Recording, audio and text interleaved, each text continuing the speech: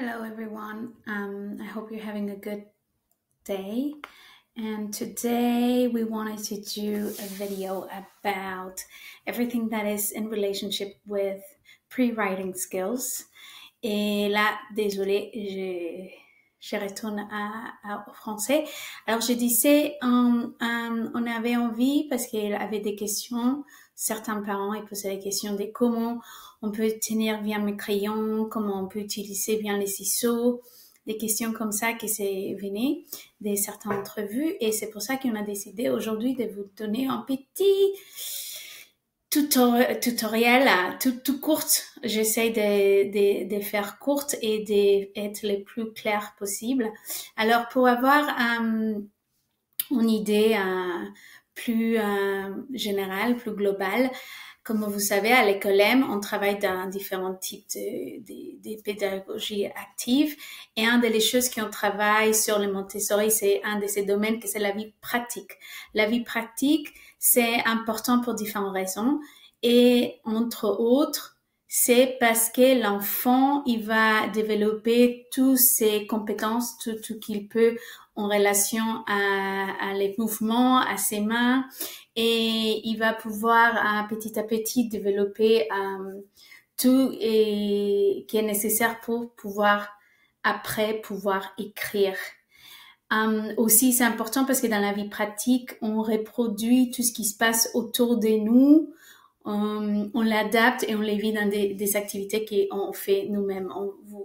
Je, suis sûre que vous avez déjà constaté plusieurs fois comment votre enfant, quand il est à la maison par exemple, il recrée dans ses jeux tout ce qu'il vit à l'école. Et nous, à l'école, on voit dans ses jeux, il recrée tout qu'il vit à la maison. Et pour lui, c'est important parce que là, comme ça, il devient acteur de son propre apprentissage. Et nous, dans la vie pratique, on les met des situations où il regarde que les, les, les, dans son environnement, ça existe. Et on les met dans son échelle. D'accord?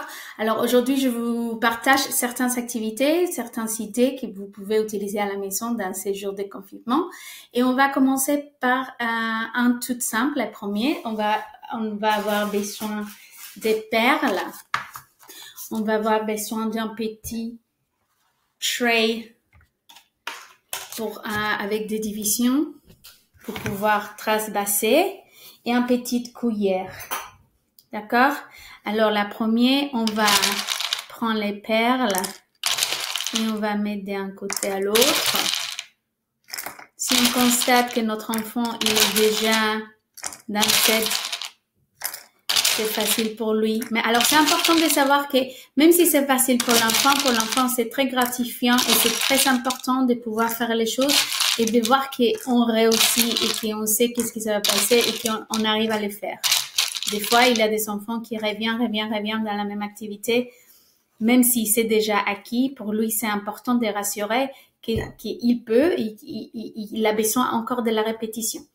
Alors, si on veut passer, par exemple, à le faire un peu différemment, on peut, des retours, on n'utilise pas la cuillère, on utilise nos doigts. Et comme vous voyez, comme moi j'utilise mes doigts, j'utilise cette geste, que c'est le geste de la pince. Et cette geste de la pince, c'est très très important pour l'écriture ensuite. D'accord? Alors, par exemple, on peut dire maintenant, et comme ça on travaille des autres compétences en même temps que la motricité fine, on va lui dire par exemple, je voudrais s'il te plaît que tu me donnes, on va dire, cinq perles de couleur verte. Alors il va prendre un, deux, trois, quatre et cinq. Très bien. Maintenant, je voudrais que tu me donnes trois perles de couleur jaune. Un, deux, trois. Ensuite, tu me donneras six de couleur violet. Alors, si je commence à voir que mon enfant commence comme ça, ça veut dire qu'il est fatigué, qu'il veut plus. Alors, c'est que c'est important de dire, ok, je te propose qu'on finit cette dernière couleur et après ensuite on fait une autre chose. Alors, on finit, mais c'est important de finir. Dans, si on, euh, tout de suite, on va pas finir peut-être toute l'activité, on verra en quel état est notre enfant, mais si on sent qu'il est déjà fatigué, on dit ok, on va, on va, we wrap it up, on va finir. Si violet, un, deux, 3, 4, 5, 6. Et imaginons que la dernière, il nous a donné une autre couleur. Alors on dit, est-ce que tous sont violets? Non. Ah, parfait. Alors on change. On les dit pas, c'est pas correct. Regarde bien. On les juste, on les montre. Regarde, est-ce qu'ils sont tous violets? Et là, et c'est lui-même qui, corrige. D'accord? Alors ça, c'est une façon de faire cette activité. Aussi, on peut utiliser différents types de cuillères. Des cuillères plus grandes les plus petits. Différents types de transversés. D'accord? Différents types de matériel aussi. Par exemple, moi, les enfants, ils aiment bien travailler. Euh, là, on a du riz, par exemple. Et on dit, OK, on va mettre des... On prend notre cuillère. Et l'idée, c'est de passer des 1 côté à l'autre.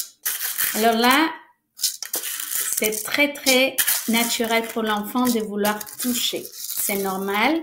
Il, il, il, aime cette sensation et même nous, c'est très agréable.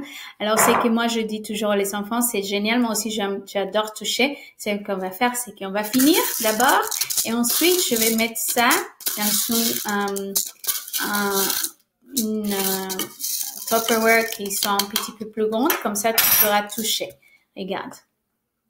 Et comme ça, on les laisse, on les laisse toucher, on les laisse expérimenter. C'est très, très important. Parce que si on les laisse pas, qu'est-ce qui se va passer? Après, l'unique intérêt pour lui, c'est de toucher. Il va vouloir toucher et c'est ça qu'il va essayer tout le temps. Alors, on les laisse et on touche et c'est très agréable. Là, on peut, s'il est plus plus grand, on peut lui dire que les transvaser. Et voilà. Alors, je vous montre des types de matériel que, que, comme vous avez constaté, on a à l'école. Certaines choses sont déjà faites. Certaines choses, c'est nous qui on, qui, qui, on crée. Et par exemple, on a des petites, je vais mettre ici différents types de matériaux. Je vous montre, j'ai des petits bois en couleur, des pâtes, des pierre, cailloux. Et par exemple, ce que je peux faire là, c'est que je mélange, je mélange tout. Et après, je demande à les enfants de faire le tri. C'est un premier élément, on fait le tri. Pareil, je suis en train d'utiliser ma, ma, ma, ma pince. Et après, ce qu'on peut faire et que moi j'adore ça et je sais que les enfants aussi, une fois que j'ai trié tous mes éléments. Alors je sais que là, j'ai utilisé des, des riz, des pâtes et que des fois, il faut être plus euh, conscient que c'est des aliments. Mais là, c'est des tout petites quantités et que j'utilise constamment. Comme ça, je fais pas de gaspillage. Et là, c'est que j'adore faire et les enfants, ils adorent faire, c'est créer des mandalas. Alors, je dis, alors les enfants, on va créer un mandala. Un mandala, ça commence par l'intérieur. Et on continue et on va tout autour.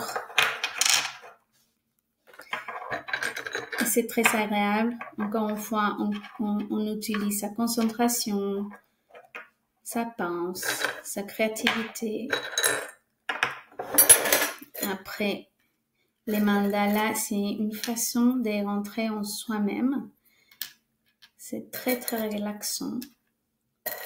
Normalement, on peut travailler, là, on travaille de l'intérieur vers l'extérieur. Et ça existe aussi travailler de l'extérieur vers l'intérieur. C'est travail de différentes choses, mais là, je ne vais pas rentrer dans les détails. Et là, je travaille en mandala. Et même si vous pensez que c'est pas beaucoup de travail, il y a beaucoup de compétences qui sont en train de travailler en même temps. Voilà. Ça, c'est agréable pour les grandes et les plus petits aussi. Alors, je vous montre des autres choses qu'on peut faire. Les travailler avec l'eau, les enfants, ils s'adorent. Je vais montrer par exemple, peut simplement transvaser d'un endroit à l'autre. On peut y avoir différents types de des, des, des pots, des choses où on peut transvaser l'eau, transvaser l'eau, et, euh, et même avec un gouttier. Une autre activité qui c'est très bien pour travailler toutes les muscles de la main. On a un tout petit, tout petit uh, Tupperware comme ça, on a une éponge. Et ce qu'on fait, c'est qu'on met l'éponge dans un côté, on prend et on met de l'autre côté et là, squeeze. Et on retire tout l'eau. Ah. Encore, on peut travailler les deux mains. Et là, I squeeze. là aussi, on peut montrer à l'enfant qui, à travers l'absorption, on a réussi, réussi de mettre toute l'eau d'un côté et de l'autre côté. Et il s'adore ça il travaille tous les petits muscles. Voilà. Alors, quoi d'autre je peux vous montrer? Bon, évidemment, à faire des petits colliers avec les perles. Alors moi, j'utilise, j'adore utiliser ce type de matériaux parce que pour les tout petits, c'est beaucoup plus simple de mettre les perles parce que c'est dur et ça bouge pas dans tous les sens et c'est pas, c'est, épais. Et pour les plus petits, c'est beaucoup plus pratique et c'est beaucoup plus facile pour eux. Et fur et à mesure, vous pouvez passer à un fil et c'est beaucoup plus facile. Aussi, euh, la pâte à modeler, c'est génial. Vous le savez, c'est très, très agréable. La pâte à modeler, même l'ouverture. D'accord tout ça, les enfants, ils s'adorent. Les parents, ils s'adorent moins parce que ça, ça tombe. Mais croyez-moi, c'est très très bien pour les doigts, pour la créativité. On peut faire ça. On peut jouer et faire simplement tout ce qu'il voulait. Après, si on veut faire des lettres, on peut, des chiffres, on peut. En plus, c'est très bien pour, parce que, par exemple, les enfants qui sont dyslexiques, qui s'arrivent pas, leur cerveau, ils s'arrivent pas à voir les, euh, différences en, en, 2D. Quand ils les voient en 3D, ils s'arrivent à, comprendre les, les, symboles et c'est très, très bien. Alors, même quand ils utilisent des jouets comme ça, c'est très bien parce qu'ils utilisent leur force. Et normalement, l'enfant, il va toujours euh, vouloir que maman ou papa, ils, ils font pour, à leur place quand ils s'arrivent pas. Mais on peut y aller et on peut aider. On peut dire, OK, moi je l'aimais, mais c'est toi qui pousse, on pousse ensemble. Et tout ça, c'est du travail.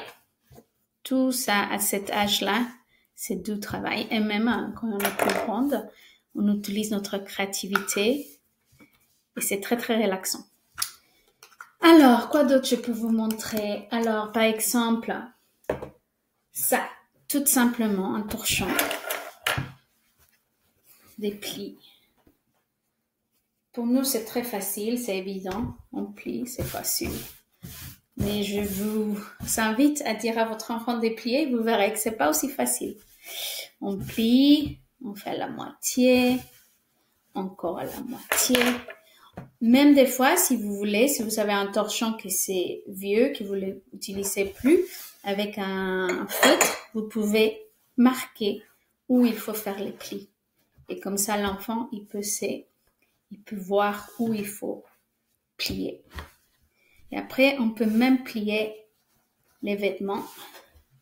Et là, c'est la vraie vie et les enfants, ils s'adorent. Aussi les chaussettes, par exemple. Moi, quand je fais la, quand j'ai tous les vêtements qui sont propres, je demande, c'est la, le devoir de Liam de mettre les, chaussettes ensemble et c'est lui qui va mettre les chaussettes ensemble comme ça.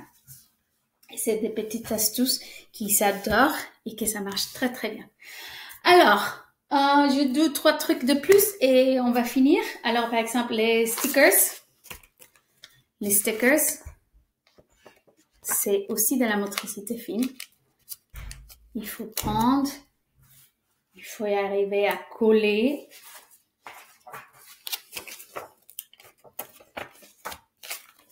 Si je prends, par exemple, il y a des enfants qui prennent tout la planche et des fois c'est trop difficile parce que c'est même lourd pour leurs mains.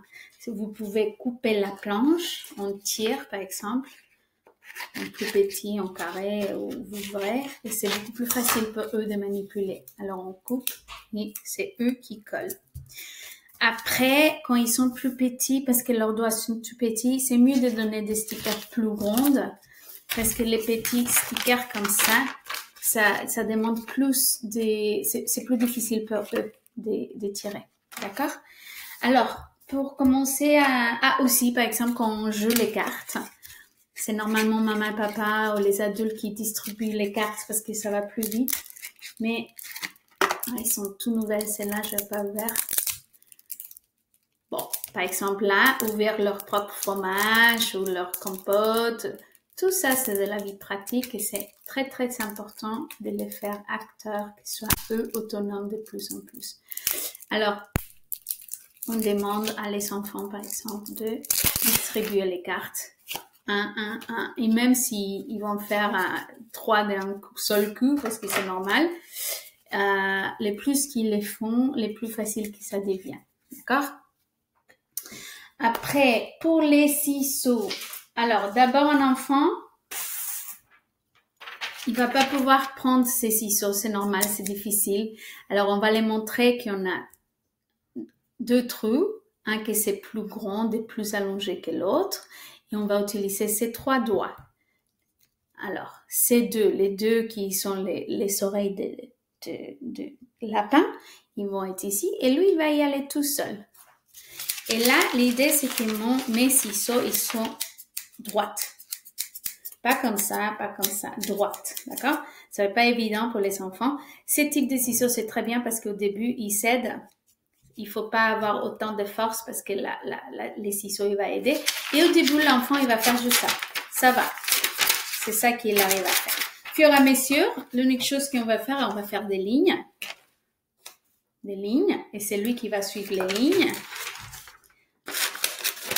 Après, on peut faire des, des zigzags, des lignes. Les lignes courtes, c'est ce qui est le plus difficile. D'accord? Mais c'est très important de montrer à l'enfant à prendre les papiers parce que des fois je vois que l'enfant il prend mais il prend pas le papier parce que c'est maman papa qui sont derrière. Non, il faut, on peut l'aider à tenir les, les, papiers, mais c'est très important que depuis le début, il sait que c'est lui qui tient les papiers et qu'on tourne aussi les papiers et qu'on peut bouger aussi. D'accord? Tous ces types de choses, si on l'apprend depuis le début, après c'est beaucoup plus, facile. Si on l'apprend pas au début et après on le fait différemment, quand après c'est plus difficile de revenir en arrière. D'accord? Aussi, une autre chose que c'est important, c'est par exemple plier. Je vous avais dit avec les torchons, là, avec les papiers aussi. C'est des gestes qui nous aident à faire beaucoup de choses pour après et on travaille encore une fois la motricité fine et on peut, faire plein de choses, plein de choses avec eux. Bon, et tout ça pour... Ah, ça c'est génial. Je vous montre. C'est un bac avec de la sémule. Et moi ici, j'adore. Avant de passer au crayon, je passe beaucoup de temps ici à faire des cercles, des lignes, des lettres, des chiffres. Tout ce que je veux, je le fais ici. Parce que là, je m'entraîne. C'est très agréable, c'est très sensoriel et ça marche très très bien. D'accord? Voilà. Aussi, vous pouvez faire en grand les chiffres avec de la peinture. Voilà, avant de passer à plus petit et plus précis. Je parle de les plus petits. D'accord? Et tout ça que je vous explique, c'est simplement pour arriver à tenir correctement son crayon. D'accord? Alors on les dit à les enfants. Pour les ciseaux, c'est les oreilles de lapin et lui tout seul. Les oreilles de lapin et lui tout seul. Et pour les crayons, c'est un cocodrille, cocodrille qui est très très fin. Alors, ha D'accord? Et même, quand vous voyez qu'ils prennent par exemple, euh, la cuillère comme ça pour manger. Ah, on corrige. C'est pareil. D'accord? Ou même s'il va faire la peinture et me prendre comme ça. Ah Te rappelles? Et on fait comme ça. D'accord? Et on fait la peinture. Bon, je pense que c'est tout pour aujourd'hui. Merci beaucoup.